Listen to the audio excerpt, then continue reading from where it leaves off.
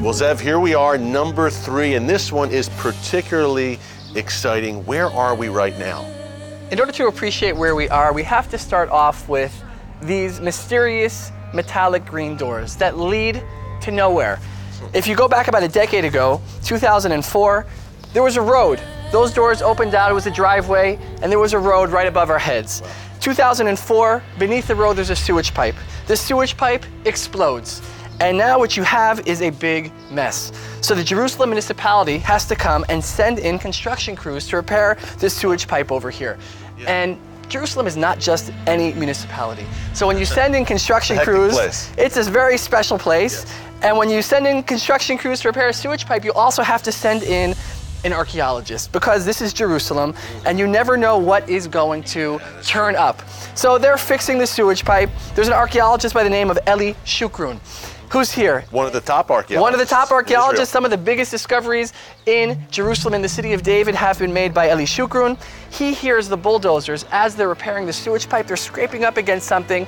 It just doesn't sound right. He says, Stop what you're doing, clears everybody out. And they see that when they clear everyone out, that they had uncovered these ancient steps, 2,000 years old, right over here. Uh, from the Second Temple period, the time of Jesus. Exactly. And you have over here these steps, and they say there's only one other place in all of Israel where you have steps like these four steps flat, four steps flat. Those are the steps leading up to the southern ascent of the Temple Mount.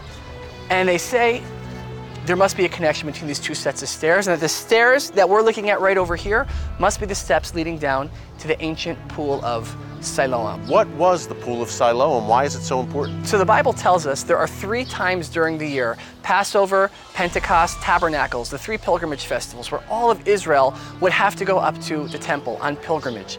Now, before you can go up to the temple, you have to purify yourself, immerse yourself in a ritual bath, a mikvah. The pool of Siloam was the size of two Olympic sized swimming pools. Big.